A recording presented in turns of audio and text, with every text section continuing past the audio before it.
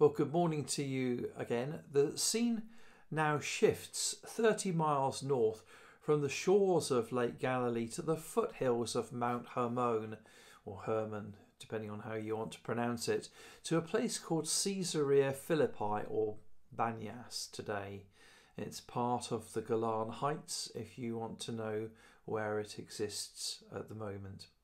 So maybe the disciples got their getaway after all, but had to travel quite a way to shake off the crowds. The location is crucial to understanding what happens next because in the middle of what looks like a prayer vigil, Jesus turns to his disciples and asks, Who do the crowds say I am? The disciples give him the exact same list of possibilities as Herod's acolytes gave him a few verses earlier. Then Jesus asks them directly, And who do you say I am? I imagine that there was a pregnant pause while they all looked at each other and then to spokesman Peter.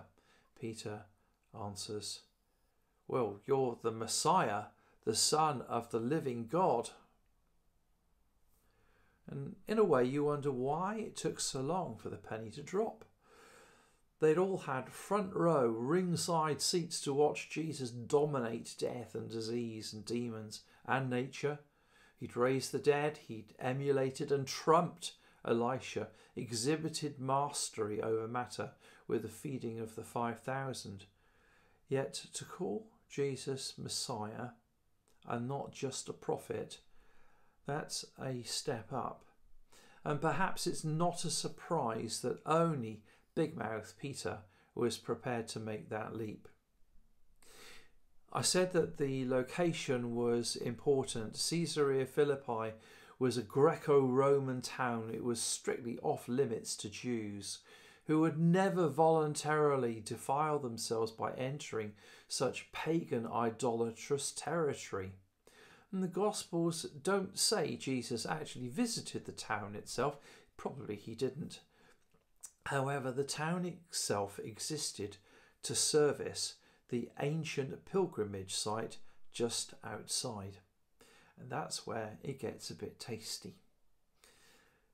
It had always been an idolatrous site. In Canaanite times, Baal was worshipped there.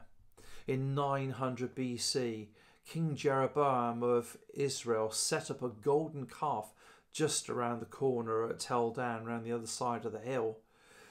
In Greek hands later, it became a shrine to the god Pan, which is where the modern name Panias comes from.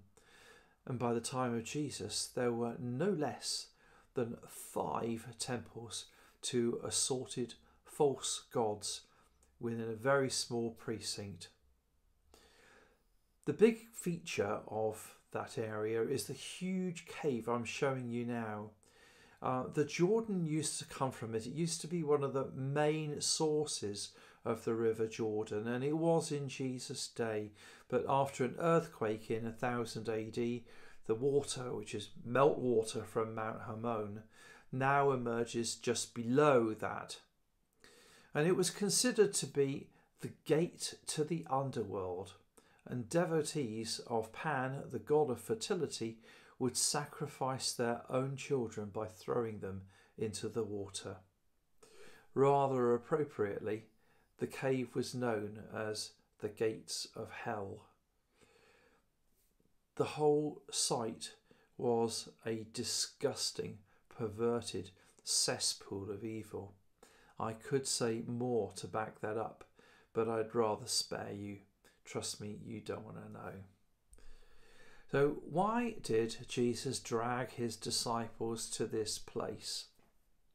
Hint it's not about Jesus competing with false gods and perverted idols, nor was he asking for their opinion on his identity out of personal insecurity and the need to be affirmed.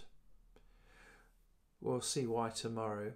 But in the meantime, have a muse on what it means to be a part of Messiah Jesus' kingdom. Are there lordship implications that you've never quite accepted? Grace and peace to you, and tomorrow we'll get the punchline of this episode.